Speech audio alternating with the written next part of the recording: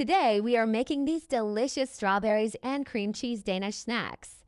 Start by opening an 8-ounce can of crescent rolls.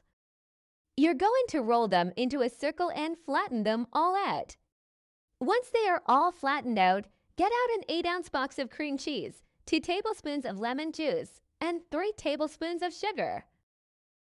First soften the cream cheese in the microwave for 1 minute this will help it mix well with the other ingredients. While we wait for that to soften, get out the sugar. Mix 3 tablespoons of sugar into your cream cheese. Now add 2 tablespoons of lemon juice. Mix well.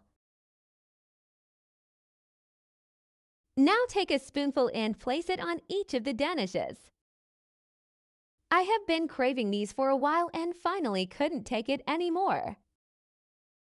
Once all the danishes are filled, take out some strawberry jelly or spread. You're going to want to add the strawberry jelly to each of the danishes.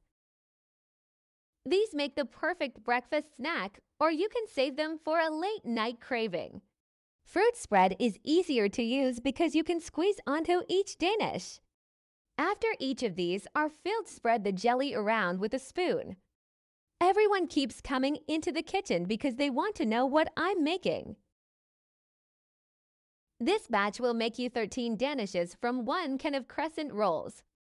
You will also have some cream cheese mixture left over to use as a dip or to make more.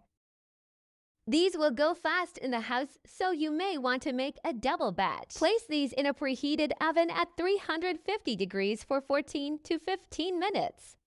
Set you a timer. Once these are done, let them cool for about 5 minutes.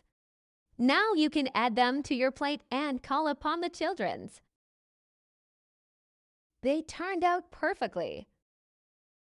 For more recipes, please go subscribe to my channel. Hope you guys enjoyed!